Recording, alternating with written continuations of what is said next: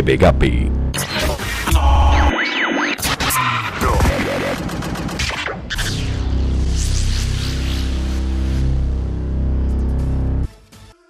Estamos transmitiendo desde las instalaciones del Grupo GAPE. Yo soy una servidora Mayra Galván. Le quiero recomendar que tome agua Bonafont porque es fuente de salud. No olvide tomarla.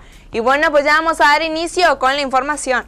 Descarta narco en el caso Diego. Organización Mundial de la Salud lanza lucha contra alcoholismo. En Reynosa, el presidente del comité directivo del PRD impulsa debate entre candidatos. Y en los espectáculos, Alma Hayek se cambiará el apellido. Quédese a conocer esto y más aquí en Noticiero en Línea.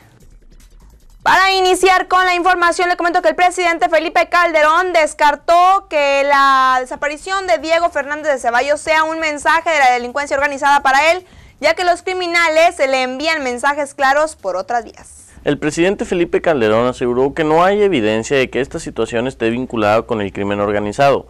No hay evidencia de que se trate de un secuestro, ¿Por qué? De acuerdo con la investigación, no tenemos evidencia. Esto fue lo que contestó Calderón en la entrevista realizada durante su visita a Estados Unidos. Y para continuar hablando de esto, de este caso de Diego, le comento que el apoyo con una campaña de espectaculares de los panistas eh, queretanos a Diego Fernández de Ceballos duró poco pues unas horas después de colocar el primer anuncio, la dirigencia estatal del PAN anunció que los retirarían porque ya cumplieron su objetivo. El dirigente estatal panista Ricardo Anaya Cortés informó en un comunicado que tras sostener una plática con los familiares del ex candidato presidencial se tomó la decisión de retirar los anuncios. Por otra parte le comento que los países de la Organización Mundial de la Salud adoptaron después de varios años de negociaciones una estrategia mundial para reducir el consumo nocivo del alcohol que empieza cada vez a edades más tempranas y está directamente vinculado con la aparición de varias enfermedades graves.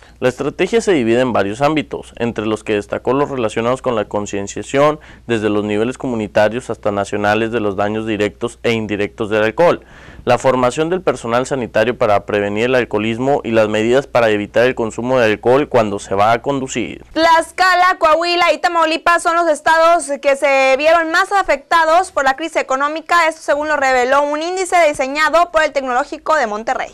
Marcia Campos, una de las autoras del estudio La competitividad de los estados mexicanos, explicó que las entidades que tuvieron menos consecuencias por la crisis económica fueron aquellas que no están tan expuestas a los mercados internacionales. Y en información de la ciudad de Reynosa, le comento que Carlos Eduardo García, delegado de la defensa del DIF Reynosa, Platica continúa la violencia familiar y ahora más grave aún porque se han registrado ya varios casos donde las víctimas se quieren suicidar. Bueno, sí, mira, eh, en, estos días que hemos estado trabajando eh, aquí en el sistema DIF, eh, nos hemos percatado que ha estado, siguen manifestando estas situaciones de violencia familiar.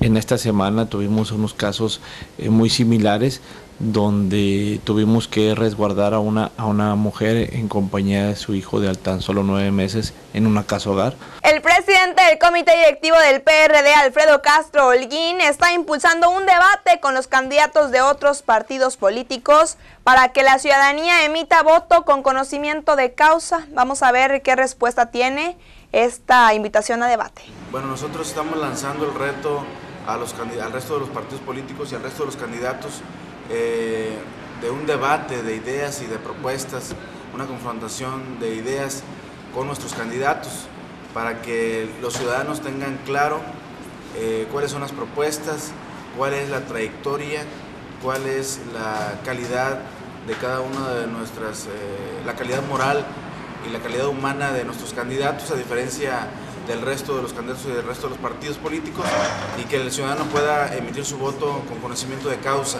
Y en los espectáculos tenemos que la actriz veracruzana Salma Hayek cada vez se vuelve más internacional y tan es así que incluso ya piensa en cambiarse el apellido y ahora será Salma Pinault, que corresponde a su marido el empresario francés Francois Henry Pinault. Según reveló la periodista Shanique Berman en su espacio radiofónico, Salma Hayek tomó la decisión de cambiarse el Hayek cuando su pequeña hija Valentina Paloma, de dos años, la cuestionó al ver que su silla estaba rotulado con su nombre soltera. Pase un excelente fin de semana. Yo soy una servidora Mayra Galván. Lo espero el día lunes con más información. No se despegue de nuestra página de internet www.tvgape.com.